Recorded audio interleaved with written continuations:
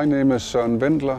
I am IT Enterprise Architect here in Coop. Coop is a large retail company. We have around 1,200 supermarkets in the Kingdom of Denmark.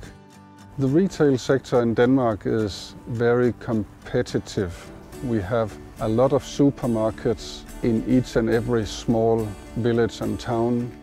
The total cost of our IT systems is very important to Coop because we are operating in a very low margin market due to the very stiff competition in Denmark. Actually, we have far too many supermarkets for the population. We are very keen on standardizing our IT so that it is as cost effective as possible. People tend to believe that the retail business cannot really be that depending on IT. But actually, no business process works in Coop if the IT system stops. Our new vSAN solution will make it possible for us to keep all of our servers running on a shared platform.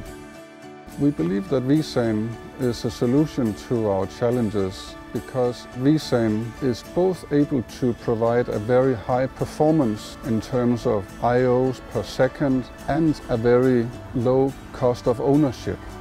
We could see that we were actually able to finance the design and implementation of our new vSAN server infrastructure by just taking the money that we had put aside for maintenance of the old server platform. So we didn't really have to go and ask the board for any new money. vSAN is powering every single business process in Coop, all the way from the tills to the provisioning of goods from the warehouses to the stores and on to the headquarter functions.